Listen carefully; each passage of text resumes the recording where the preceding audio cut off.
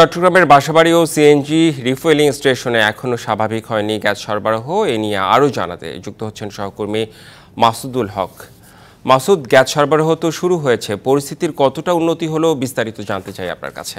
প্রায় চব্বিশ ঘণ্টার অধিক পার হয়ে গেল এখনও চট্টগ্রামে কিন্তু গ্যাসের যে সরবরাহ সেটি স্বাভাবিক হয়নি। সকাল থেকে কিন্তু কয়েকটি পাম্পে কিন্তু গ্যাসের সংযোগ আসলেও কিন্তু এখন নেই। আমি এই মুহূর্তে রয়েছি কদমতলি একটি গ্যাস পাম্পে। আপনি দেখ- দেখছেন, এখানে কিন্তু একটু আগে কিন্তু এখানে অনেক গণপরিবহন ছিল, কিন্তু এই মুহূর্তে নেই। কারণ সকালে এখানে কিন্তু গ্যাসের সংযোগ আসার পর তারা গ্যাস দিয়ে আরম্ভ করে, তখন প্রচুর গাড়ি কিন্তু যানবাহন যারা গতকাল রাত থেকে এখানে লাইনে দাঁড়িয়েছিল তারা তাদেরকে কিন্তু গ্যাস দেওয়া হচ্ছিল, কিন্তু একটু একটু পরেই প্রায়- এক থেকে দেড় ঘণ্টা পর তারা জানে তাদের এখানে আর গ্যাস নেই, গ্যাস দেওয়া সম্ভব না। সেই সময় এখানে যারা চালক, যারা গতকাল থেকে তারা, যারা লাইনে দাঁড়িয়ে আছেন, তারা বিক্ষোভ শুরু করেন। বিক্ষোভ শুরু করার পর তারা সড়ক অবরোধ করেন। এরপরে কিন্তু পুলিশ এসে তাদেরকে উঠিয়ে দেয়। এখন কিন্তু পরিস্থিতি শান্ত রয়েছে এবং পুলিশ এসে এই পাম্প থেকে যে সমস্ত গাড়ি ছিল তাদেরকে বের করে দিয়েছে।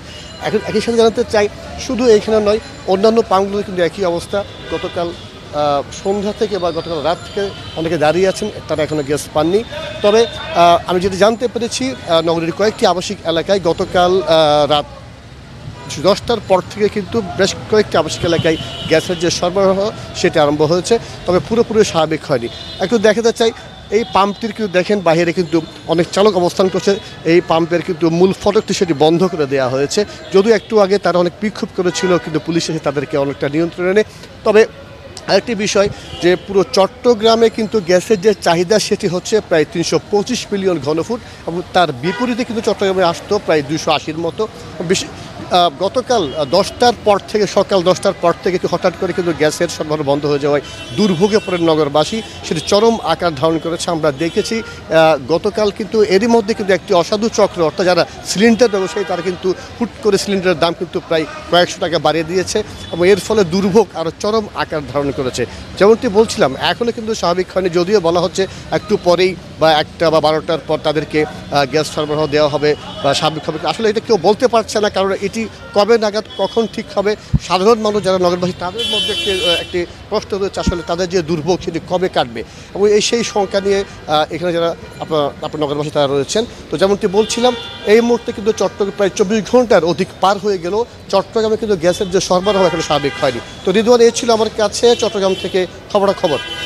নিশ্চয়ই চট্টগ্রাম থেকে জানাচ্ছিলেন বিস্তারিত মাসুদুল হক। আপনাকে ধন্যবাদ। চলে যেতে চাই গাজীপুরে। গাজীপুরের গ্যাস সংকটের খবর জানাতে যোগ দিচ্ছেন সহকর্মী মাহমুদা শিকদার। মাহমুদা, আপনার কাছে জানতে চাই কতটা গ্যাস সংকটে ভুগছেন শিল্প কারখানা ও আবাসিক গ্রাহকরা? তাদের দুর্ভোগ কেমন? সব মিলিয়ে জানতে চাই আপনার কাছে। রেদওয়ান আপনি জানেন যে গাজীপুর শিল্পাঞ্চল খাত এলাকায় এবং এখানে কিন্তু প্রচুর পরিমাণের কারখানা আছে এবং এই কারখানার ভিতরে সব থেকে ওয়াশিং সাইড যেটি থাকে, সেই ওয়াশিং সাইডটাই কিন্তু চলে সম্পূর্ণ গ্যাসের উপরে নির্ভর করে।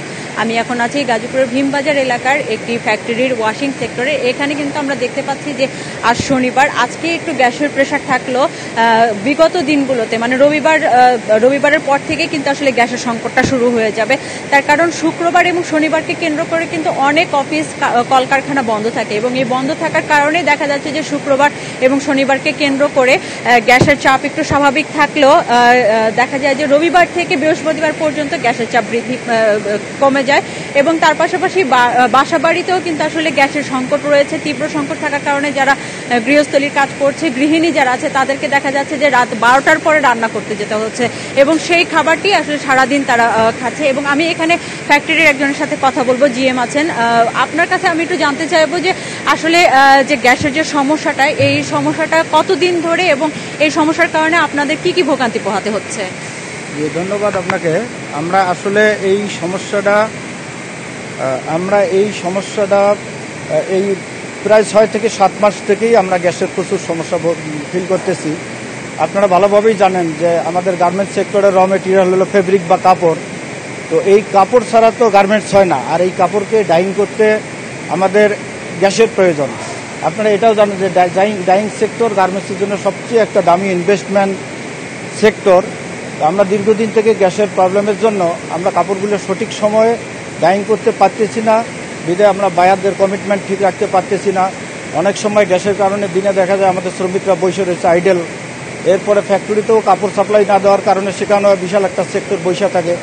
তো আমরা আশাবাদী যে এই গ্যাস সেক্টরটাকে আমরা মাননীয় প্রধানমন্ত্রীর কাছে আমরা খুবই আশাবাদী এবং পার্সোনালি রিকোয়েস্ট করব যে এই সেক্টরটা যেহেতু বাংলাদেশের এক্সপোর্টের বৈদেশিক মুদ্রা অর্জনের সবচেয়ে বড় সেক্টর তো এটাকে বাঁচানোর জন্য এই গ্যাসটাকে কীভাবে ইন্ডাস্ট্রিগুলোকে একটা আলাদাভাবে করে দেওয়া যায়, এমন যদি হয় অন্য অন্য কিছু সেক্টর আছে যেখানে গ্যাসের বিকল্প অনেক কিছুই আছে, সেটাকে ম্যানেজ করে হলেও যদি এই সেক্টরটাকে আলাদা একটা লাইন করে এটার জন্য আলাদা বরাদ্দ করা হয়, আমার মনে হয় যে এই প্রতিষ্ঠান থেকে বাঁচিয়ে রাখলে অনেক লাখ লাখ শ্রমিক এখানে কাজ করে খাবে।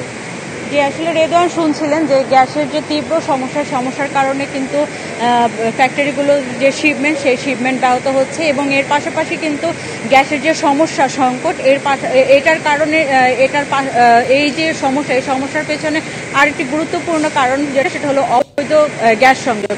বিভিন্ন বাসাবাড়ি, বিভিন্ন ফ্যাক্টরিতে কিন্তু অবৈধ গ্যাস সংযোগ দেওয়া হয়, যার কারণে এই সমস্যাটা তৈরি হতে পারে, যার জন্য আসলে তিতাস কর্তৃপক্ষকে আরেকটু সজাগভাবে এই জিনিসগুলো দেখা উচিত। রেদওয়ান নিশ্চয়ই মাহমুদা শিকদার গাজীপুর থেকে আপনি যুক্ত হয়েছিলেন। এবার চলে যেতে চাই নারায়ণগঞ্জে অর্থাৎ চট্টগ্রাম এবং গাজীপুরের পর নারায়ণগঞ্জের কি অবস্থা? অর্থাৎ সেখানেও গ্যাসের তীব্র সংকট চলছে আমরা জানতে পেরেছি। এ নিয়ে আরও জানাতে যোগ দিচ্ছেন সহকর্মী রাজু আহমেদ। রাজু আহমেদ নারায়ণগঞ্জের কি অবস্থা জানাবেন আমাদের? অন করুন ভ্যাকেশন মোড এনার্জি সেভ করুন নিশ্চিন্তে। ওয়ালটন স্মার্ট ফ্রিজ বোঝে আপনার প্রয়োজন। চিটগং এবং গাজীপুর থেকে সহকর্মীরা যা জানাচ্ছিলেন যা বলছিলেন আসলে অনেকটা একই রকমের চিত্র কিন্তু নারায়ণগঞ্জে। তবে গত দু তিন বছর আমরা যেটি জানিয়েছি যে নারায়ণগঞ্জে তীব্র গ্যাস সংকট, এখন আর সেটি বলার উপায় নেই। এখন বলতে হচ্ছে যে নারায়ণগঞ্জে গ্যাস নেই। আপনি জানেন যে নারায়ণগঞ্জ দেশের প্রধান যে রপ্তানি খাত, অর্থাৎ নিটশিল্প সেই নিটশিল্পের প্রধান কেন্দ্র হচ্ছে নারায়ণগঞ্জ, যেটি ফতুল্লার পিসিকে অবস্থিত। এবং পুরো জেলায় কিন্তু ছশো থেকে সাতশো গার্মেন্ট শিল্প গার্মেন্ট এখানে রয়েছে। এবং আপনাকে যেটা জানাতে চাই যে দেশের এই গার্মেন্টস মালিকদের বৃহৎ সংগঠন বিকেএমির সচিব সুলভ, তিনি আমাদেরকে যেটা জানিয়েছেন যে গ্যাস তারা অনেক ফ্যাক্টরিতে যেটা দশ বা পনেরো পিএসআই গ্যাস চাপে তারা সংযোগ নিয়েছিলেন, কিন্তু গত দশ বারো দিন ধরে সেখানে কিন্তু গ্যাসের চাপ একেবারে শূন্য কিংবা এক, অর্থাৎ এ দিয়ে উৎপাদন একেবারেই সম্ভব নয়। এবং যেটি আসলে আমার অন্য সহকর্মীরা জানাচ্ছিলেন যে ডাইং ফ্যাক্টরিগুলো আসলে নির্শিল্প চালানোর যে প্রধান যে চালিকা শক্তি ডাইং অর্থাৎ ডাইং থেকে কাপড় আসলে পরে নিট গার্মেন্টে গার্মেন্ট ফ্যাক্টরি যেগুলো, সেগুলো তারা পণ্য বানাতে পারে। সে ডাইংই চলছে না। ডাইং এর প্রধান যে জ্বালানি, সেটি হচ্ছে গ্যাস। গ্যাস না থাকাতে ডাইং প্রতিষ্ঠানগুলো কিন্তু একেবারেই বন্ধ। যার ফলে কিন্তু আসলে উৎপাদন একেবারে শূন্যের কোঠায় নেমে এসছে এবং বিদেশি অর্ডারগুলো কিন্তু বাতিল হচ্ছে। এবং গাজীপুর থেকে মাহমুদা যেটি জানাচ্ছিলেন যে অবৈধ গ্যাস সংযোগের একটি কথা। আসলে আবাসিক গ্যাস সংযোগ বন্ধ রয়েছে, কিন্তু শুধুমাত্র নারায়ণগঞ্জের রূপগঞ্জ, সোনারগাঁ, আড়াই হাজার এবং বন্দর, এই চারটি উপজেলায় আমাদের জানা মতে প্রায় এক লক্ষ অবৈধ গ্যাস সংযোগ রয়েছে সেটি আবাসিক এলাকাতে। এবং নারায়ণগঞ্জের বিসিকে আমরা গিয়েছি এবং সিদ্ধিরগঞ্জের ইপিজেটে আমরা গিয়েছি। সেখানে সরজমিনে যেটা দেখেছি আসলে শ্রমিকরা বসে আছেন, সেখানে কোনো কাজ নেই, অর্থাৎ তাদের উৎপাদন একেবারে বন্ধ রয়েছে। এবং এভাবে চলতে থাকলে কিন্তু আসলে নিঃশিল্প কিন্তু একবারে হুমকির মুখে পড়বে, মুখ থুবড়ে পড়ার পথে রয়েছে তারা। এবং আপনি জানেন যেটা প্রধান রপ্তানি খাত। যদি এই নিঃশিল্প মুখ থুবড়ে পড়ে, তাহলে দেশের অর্থনীতিতে কিন্তু ব্যাপক একটি প্রভাব ফেলবে। তবে কবে নাগাদ আসলে এই গ্যাস সংকট সমাধান হবে, সেটি কিন্তু আসলে নারায়ণগঞ্জের তিতাসের কর্মকর্তারা কখনই মুখ খোলেন না বা গণমাধ্যমের সামনে তারা নিশ্চয়ই, গ্যাস সংকটের কারণ আসলে সব জায়গায় প্রায় একই রকম। আপনাদের কথা শুনে আমরা যা বুঝতে পারলাম। আপনাকে ধন্যবাদ, রাজু আহমেদ।